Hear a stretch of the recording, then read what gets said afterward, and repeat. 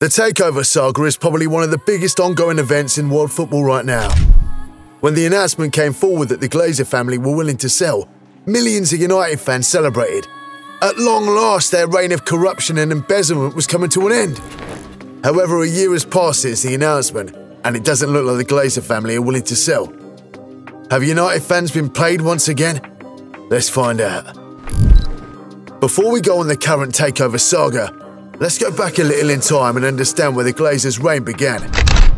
To some of you, this may be the first takeover you heard about, but in reality, from 84 to 98, three times people tried to take over the club.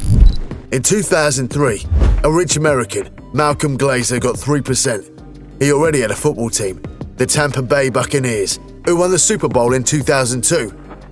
Over the next years, he got more United. By 2005, Glazer's family had almost all of it, spending about 800 million. But Glazer didn't just use his own money, he borrowed 500 million, creating big money problems. Every year they had to pay back 60 million, and they also sold 200 million in loans to hedge funds. So even though Glazer was super rich, he didn't just use his own money to own United, he used loans and got into big money troubles. Instead of using their own money, the Glazers used United's earnings to pay off debts, taking out tens of millions each season. To cover the gap, they worked on securing deals and sponsorships, with Ed Woodward, whom we'll talk about later, playing a key role. Under his leadership, revenue grew from 48 million in 2005 to 117 million in 2012. However, debts kept rising, causing concerns among fans. In 2010, wealthy supporters tried to take over the Red Knights, but failed. They offered 1 billion, falling short of the Glazers' valuation, who wanted double the 800 million they paid themselves. The Glazers initially made headlines when shortly afterwards they found a way to earn a substantial financial boost by selling shares on the New York Stock Exchange. This strategic move was positioned as a means to alleviate debts and bolster the family's finances. However, the narrative took a darker turn when Malcolm Glazer, the patriarch of the family, passed away in 2014, leaving his sons in control of the club.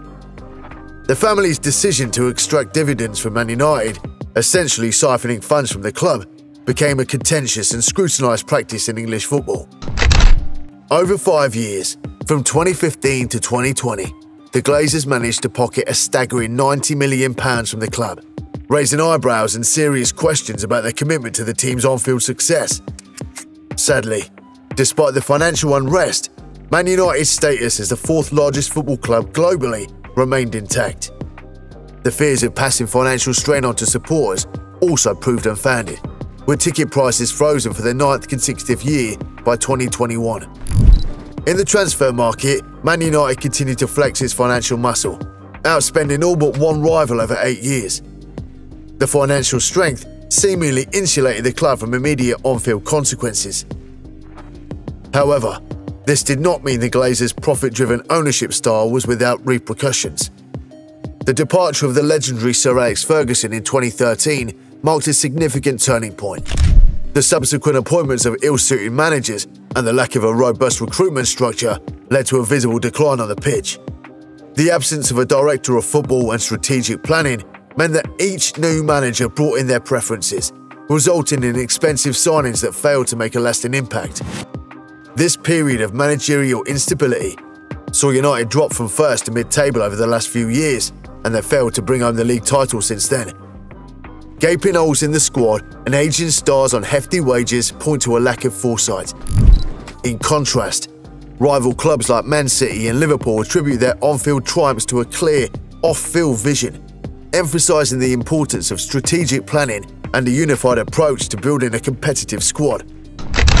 Beyond the footballing aspects, the Glazer era has seen Old Trafford, once a fortress, fall into a state of despair. Unlike other ambitious clubs investing in new stadiums or redeveloping projects, Manchester United's home ground has not seen significant improvements.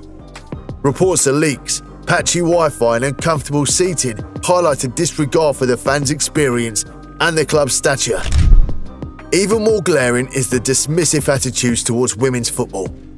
While a women's side had unofficially existed for decades, the Glazers dismantled it, deeming it unprofitable and unnecessary to the club's core business.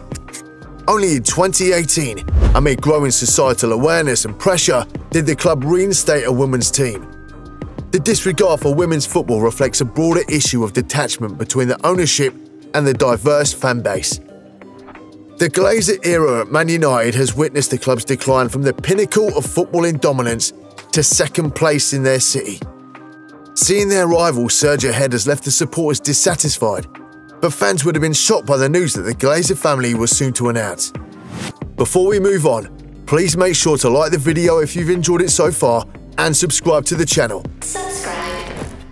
Towards the end of 2022, the Glazer family made a historic decision, saying that they were ready to kickstart the Man United takeover process. This revelation coincided with another bombshell the termination of Cristiano Ronaldo's contract. The dual announcement sent shockwaves through the footballing world, setting the stage for a dramatic sequence of events that would unfold over the following months. February 2023 arrived, with the Raine Group, whom the Glazers had hired to help them oversee the process, setting a deadline for the first round of bids. Among the interested parties, two figures stood out Sheikh Jassim and Sir Jim Ratcliffe, the founder of Ineos, both made their bids public, offering insights into their vision for the club's future. Sheikh Jassim, the chairman of the Qatar Islamic Bank and son of the country's former prime minister, asserted his lifelong connection to Man United. Ratcliffe, reportedly the wealthiest man in the United Kingdom with a fortune of $15.3 billion, according to Forbes, brought a formidable financial tussle to the table.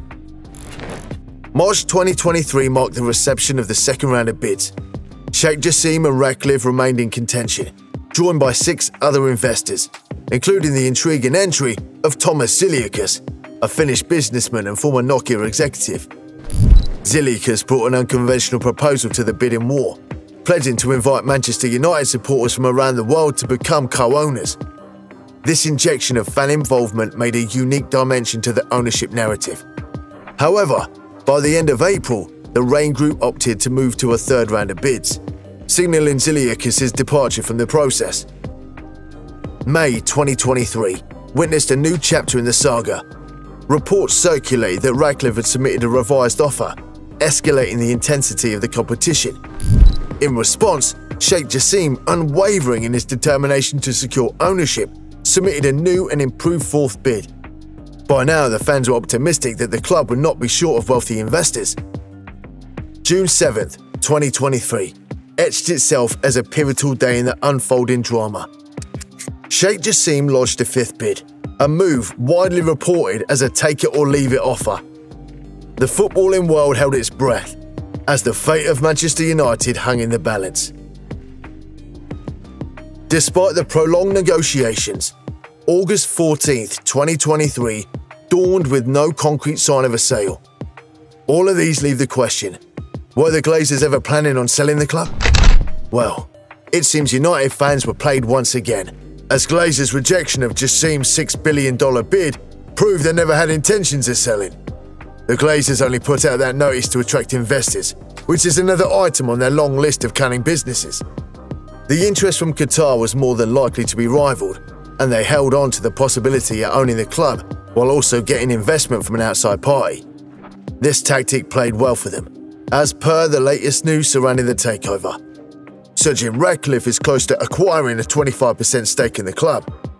Despite this, the Glazers will continue to lead at Old Trafford, although there's anticipation that Ratcliffe may progressively increase his ownership in the Red Devils. This development might be disheartening for United fans hoping for a change in ownership after a decade without a Premier League title under the Glazers. Do you think the Glazer family will leave Man United anytime soon? Let us know in the comments. GOF, any last words? Yeah.